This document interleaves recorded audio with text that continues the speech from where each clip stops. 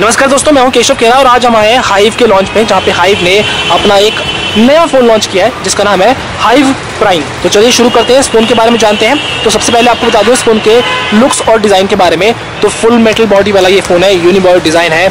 आप देख सकते हैं कि नीचे की तरफ़ इसके स्पीकर ग्रिल्स हैं और टाइप सी यूएसबी पोर्ट है। पीछे की तरफ़ आपको मिल रहा है फिंगरप्रिंट सेंसर कैमरा दिया है और टॉप पे है आपका 3.5 पॉइंट mm ऑडियो जैक और आईआर ब्लास्टर और अगर आप देखेंगे, इसके राइट हैंड साइड में तो आपको उसमें पावर बटन मिल रहा है और वॉल्यूम लॉकर की मिल रही है। और इसके लेफ़्ट साइड में आपको सिम इजेक्टर ट्रे है, यानी आप यहाँ पे दो सिम डाल सकेंगे। एक सिम 4G है और एक सिम 3G है। 4G वोल्टेज सपोर्ट करता है फ़ोन अब बात करें इस फ़ोन के डिस्प्ले की तो 5.7 इंच का डिस्प्ले है इस फ़ोन में जिस जिसके बावजूद भी ये फ़ोन आपको बिल्कुल भी बल्कि नहीं लगेगा, बहुत ज़्यादा ब्रॉड नहीं रहेगा और आप इस फ़ोन को एक हाथ से यूज़ कर पाएँगे। और आपको बता दूँ कि फुल एच डी रेजोल्यूशन दिया है इस फ़ोन में और इसके साइज़ में देख सकते हैं 2.5 डी कर्व है।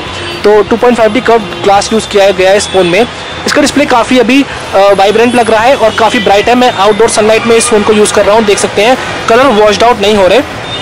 हालाँकि ब्राइट सनलाइट में फ़ोन कैसे साबित होगा, उसके बारे में आपको उसके रिव्यू में बता पाऊँगा। अभी इस पर कहना जायज़ नहीं होगा, पर अदरवाइज़ काफ़ी स्मूथ है टच काफ़ी रिस्पॉन्सिव है और कलर्स एकदम नीट और क्लीन आ रहे हैं। डिस्टॉर्ट नहीं हो रहे कलर्स बिल्कुल भी। बात करें इस फ़ोन की परफॉर्मेंस की तो परफॉर्मेंस इस फ़ोन की काफ़ी अच्छी होगी और उसकी वजह यह है कि आपको इस फ़ोन में मीडिया का हीलियोस X20 प्रोसेसर मिल रहा है, चार जी की रैम मिल रही है साथ में। तो मैं आपको एक डेमो दिखाता हूँ, मैं फटाफट कुछ एप्लीकेशन खोल कर दिखाता हूँ। और ताकि आपको थोड़ा बहुत अंदाज़ा हो जाएगा इस फ़ोन की परफॉर्मेंस के बारे में, आप देख सकते हैं कितनी जल्दी जल्दी एप्लीकेशन खुल रही हैं। तो आप देख सकते हैं कि मैंने बैकग्राउंड में काफ़ी सारी एप्लीकेशन खोल रखी हैं, उसके बावजूद भी इस फ़ोन में अभी फ़िलहाल लैगिंग इशू नहीं आया हैंग नहीं हुआ, पर असल इस फ़ोन की परफॉर्मेंस कैसी है, वो मैं आपको इसके रिव्यू में बताऊँगा। अभी मैं बिल्कुल कुछ कमेंट नहीं कर पाऊँगा। और क्योंकि इस फ़ोन में आपको स्टॉक एंड्रॉइड मिल रहा है, यानी कंपनी इसको बोल रही है प्योर एंड्रॉइड 6.0 मार्च मेलो आपको इसमें मिल रहा है। तो इस फ़ोन में परफॉर्मेंस की बहुत दिक्कत नहीं आएगी। आपको एक ऑप्टिमाइज सॉफ्टवेयर मिल रहा है तो परफॉर्मेंस इसमें अच्छी मिलेगी। ऐसा नहीं होगा कि आपको फ़ोन में दिक्कत आएगी। अब इस फ़ोन कैमरे की बात करें तो इसमें है तेरह मेगापिक्सल का रियर कैमरा मैं आपको एक पिक्चर कैप्चर कर दिखाता हूँ। काफ़ी जल्दी पिक्चर कैप्चर हुई। और मैं पिक्चर को जूम करके दिखाता हूँ आपको। पिक्चर क्वालिटी डिसेंट लग रही है। इन डेप्थ में अगर आपको इसकी पिक्चर क्वालिटी के बारे में जानना है तो आप उसके लिए हमारा रिव्यू ज़रूर देखिएगा।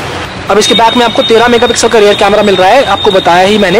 अब साथ साथ बता दूँ कि इसके फ्रंट में आपको 8 मेगापिक्सल का कैमरा मिल रहा है, जो कि काफ़ी अच्छा होने वाला है। और ताकि आप इस फ़ोन में इतने सारे फीचर्स यूज़ कर पाएँ, आपको दिक्कत ना हो फ़ोन सारा दिन चले। इसलिए इस फ़ोन में आपको पैंतीस सौ की बैटरी मिल रही है।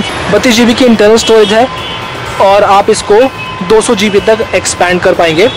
तो अगर आप बहुत ज़्यादा गेम्स डालते हैं, बहुत ज़्यादा मूवी सेव करते हैं तो आपके लिए एक अच्छा फ़ोन साबित हो सकता है क्योंकि आप दो सौ तक इसको एक्सपेंड कर पाएँगे। तो अब बात आती है इस फ़ोन की प्राइजिंग की। तो गैस करिए कितना फ़ोन का प्राइस होगा। मैं बताया तो आपको, इस फ़ोन की कीमत है सत्रह हज़ार नौ सौ निन्यानवे रुपये। माना कीमत शायद आपको थोड़ी ज़्यादा लग रही हो, पर क्या पता है फ़ोन इसके रिव्यू में काफ़ी अच्छा साबित हो। मैं भी इस पर कॉमेंट नहीं कर पाता।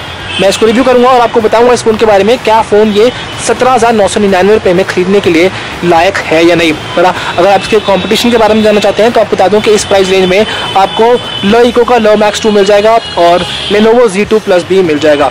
हमारे चैनल से आप बने रहिए, हमारे चैनल को सब्सक्राइब कीजिए। Until then this is Keshav Khera signing off